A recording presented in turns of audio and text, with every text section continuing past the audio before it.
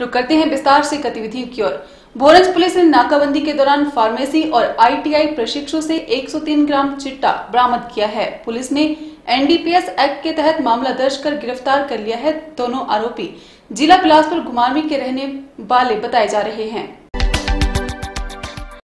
बोरंज police ने नाकाबंदी के दौरान फार्मेसी और आईटीआई प्रशिक्षु से 103 ग्राम चिटा बरामद किया। पुलिस ने एनडीपीएस एक्ट में मामला दर्ज कर दोनों युवकों को गिरफ़्तार कर लिया है। दोनों आरोपी जिला बिलासपुर के तहत घुमारवी के रहने वाले हैं। आरोपियों की पहचान 21 वर्षीय आदित्य वशिष्ठ और 26 वर्षीय राहुल शर्मा घुमारवी जिला बिलासपुर के रूप में हुई है। राहुल ने मंडी ज़िले के एक महाविद्यालय से फार्मेसी की पढ़ाई की है, जबकि आदित्य आईटीआई से प्रशिक्षण हासिल कर रहा है पुलिस ने बोरंज के बडेहर में नाका लगाया हुआ था, तभी हमीरपुर के डिरमी टिक्कर की तरफ़ से एक मारुति कार आई। पुलिस ने कार की तलाशी के लिए पुलिस ने कार को तलाशी के लिए रोका तो पुलिस को देखे तो पुलिस को देखकर दोनों युवक घबरा गए। तलाशी के दौरान दोनों युवकों से 103.36 ग्राम चिट्टा बरामद किया गया। पुलिस ने एनडीपीएस एक्ट के तहत मामला दर्ज करने के बाद हमीरपुर कोर्ट में पेश किया जाएगा। जहाँ से दोनों को 14 मार्च तक पुलिस रिमांड पर भेज दिया गया है। इससे पहले